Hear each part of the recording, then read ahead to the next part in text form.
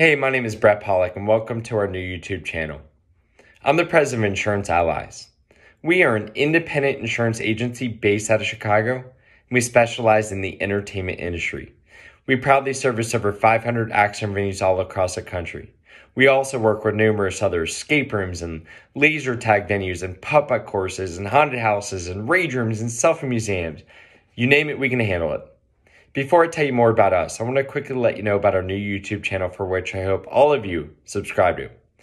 It is our goal to regularly provide all of you with valuable content regarding the insurance industry as it may pertain to your entertainment venue. But more importantly, we will be providing exclusive content to our own customers. Again, I hope all of you subscribe. Now, a little bit more about us. Again, we are an independent firm. We have zero ties to any specific insurance company. For the most part, we can always get the best price. I mean, it's pretty simple to do. All that entails is sending an insurance application to an insurance company, them sending something back, and then sending it to you. That's just not our process, how we do things, and what we care about. I obviously want all of you guys paying as little as possible. It is a business. I want you to make money, and we want to be part of your team. But in the process of getting the best price, there are a few things that we care about just as much as money, and honestly, maybe more. Number one is educating you. Our firm would genuinely like to do our very best to help you understand what the heck you're buying and what your money is going to. Secondly, is making sure things are done correctly. I cannot stress this enough.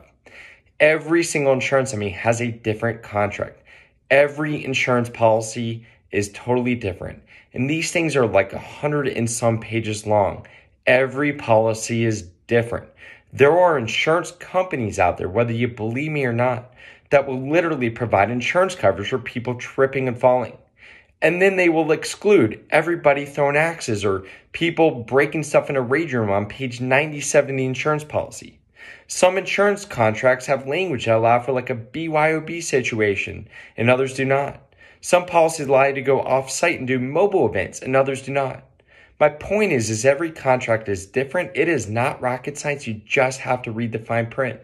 But there are people in our position that don't read the fine print. They don't know the difference. They don't care about the difference. They push paperwork back and forth thinking everything is the same. That is how you get burned. You have to read the fine print.